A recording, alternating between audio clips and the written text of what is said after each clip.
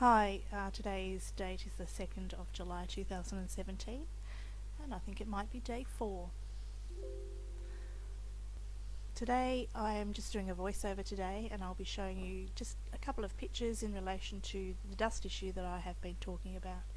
You can see from this these pictures um, on screen right now that there is a huge problem with the dust fallout landing on my pool and on the, the chair at the back.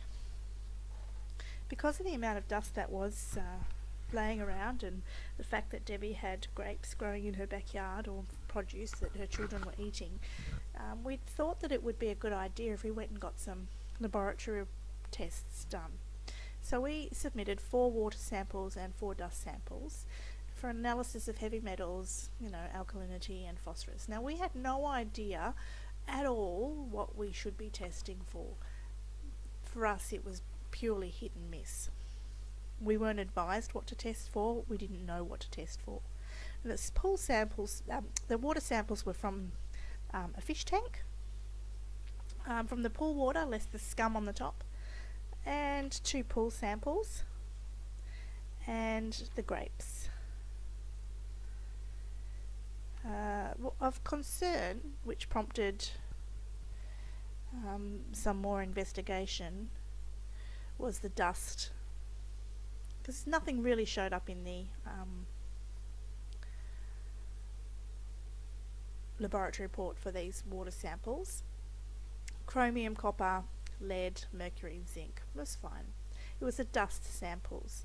Dust samples were taken from inside the house and laboratory um, from the vacuum cleaner, from the outside chair, which you saw the picture of, and from inside my daughter's windows. Inside my daughter's windows contained huge amounts of lead and zinc. In fact, the lead levels in the vacuum cleaner were 140 on the outside chair was 42 and on the windows were 540 and 590. They said because they were lead windows that that's why there would have been a high amount of lead in there.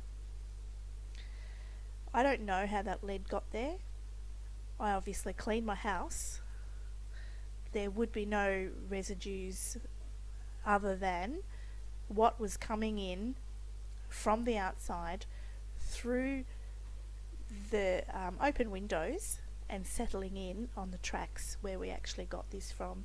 Now the house was clean when we moved in and of course this was 29th of January 1999 and obviously I would have cleaned you know from the date that I moved in.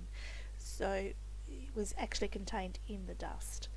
There was chromium, copper, lead, mercury and zinc found in all samples um, at high levels um, Debbie's grapes didn't show a great deal.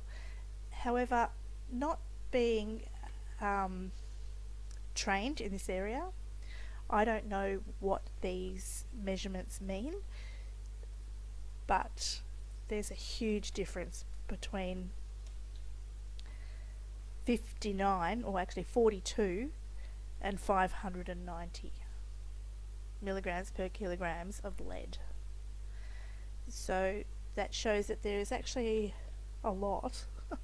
and um, I didn't think that any amount of lead was safe, ever. So if you can help me, I've put a copy of the laboratory results at the end of this video. Probably been looking at them while I've been talking, and I hope that they're clear enough for you to read. Um, that's all for today. Thank you. Bye!